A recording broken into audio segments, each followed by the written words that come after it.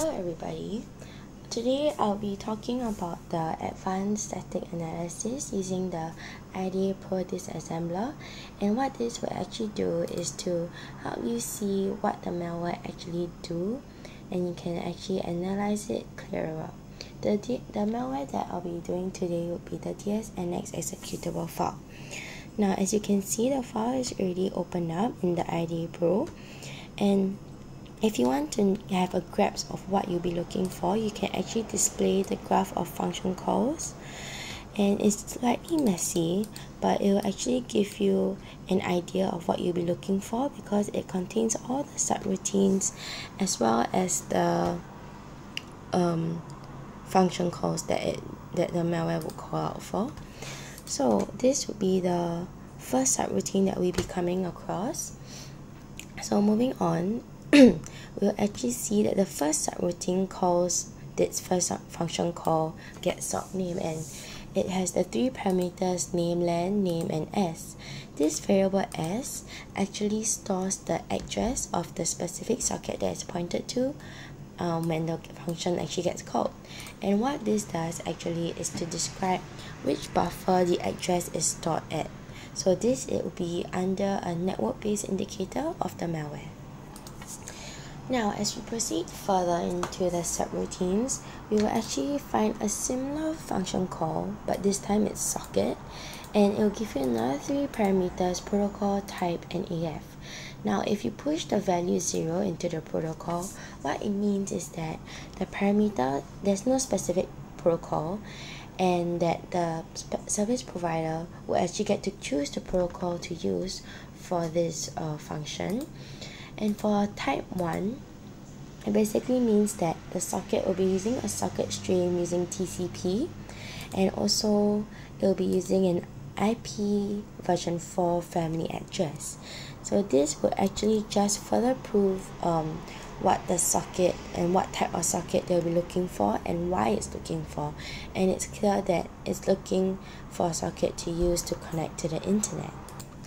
So for this IDA Pro, right, you actually have to slowly scroll down through the programming and the coding to actually find what is worthy of taking note of. And so what I've done here, actually, I found another interesting string is the port redirected. And it's basically another network-based indicator. So um, it calls the function, it calls this function here, where it basically converts the network address into a string in dotted format. And so what we can infer here is that the malware actually um, redirects a communication request to create services in the host machine. So as, I, as I've said earlier, you actually need to slowly scroll through and here we're at another subroutine where uh, it's very interesting. There are function calls that actually manipulates the registries in the computer. For example the registry open key delete value and close key. So as you can see here um, the software the malware is actually trying to create a persistent entry registry where it makes sure that the WinDSNX will run in the background once the computer is booted up that's why it's trying to manipulate the registries uh, to make sure that and set the value to make sure that uh, it will always run as you can see here.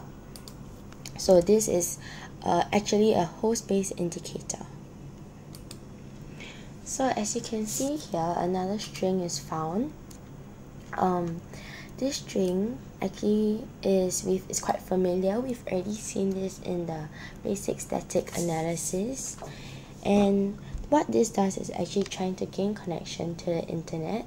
And it basically just verifies to us that the malware is trying to connect to the internet and we're not sure what it's going to do yet so we have to look further more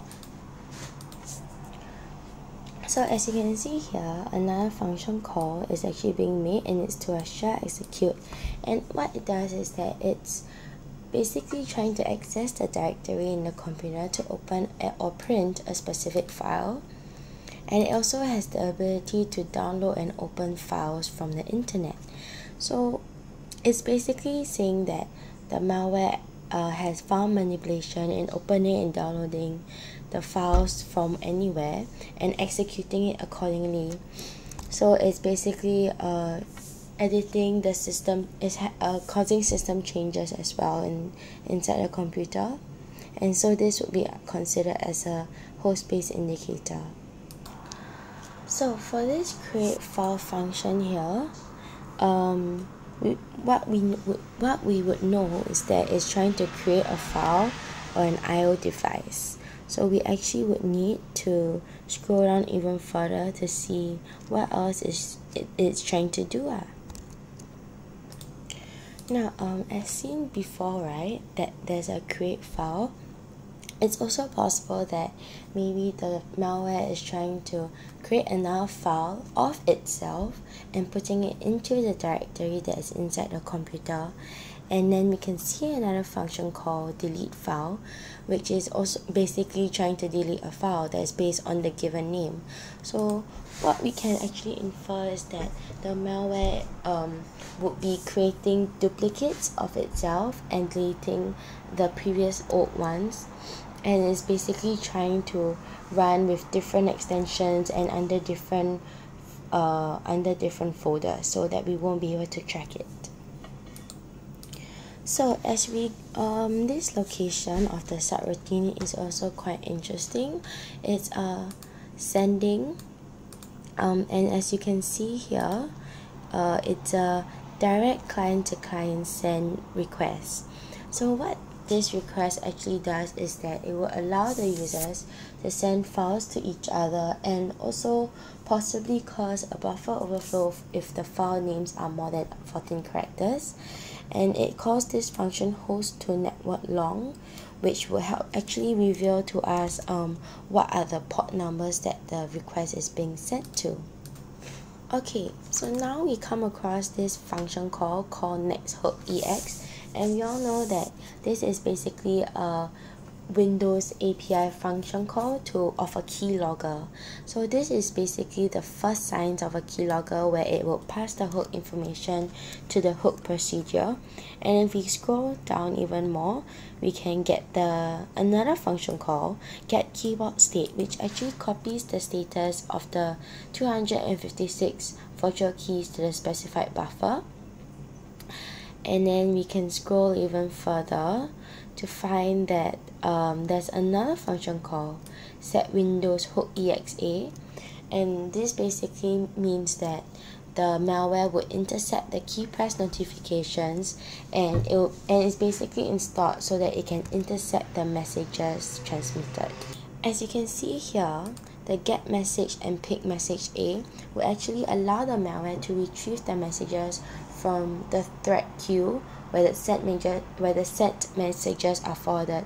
So basically we can infer that this malware will intercept the events such as remote key press events because it has the functionalities of a keylogger. Now finally the last thing that I want to bring up would be this DSNX port scanner where so it, it basically would tell us that the malware is trying to find an open port that can access to the internet. Hence it is flexible in a sense that it can communicate from an open port and is not necessarily tied down to just one port for communication. So basically we can say that uh, it's trying to find an open port to access the internet, to download the files, and to manipulate the file systems to delete or create files of itself and it also uh, manipulates the registries in the computer and that's all that uh, we have found inside the IDA Pro. Thank you.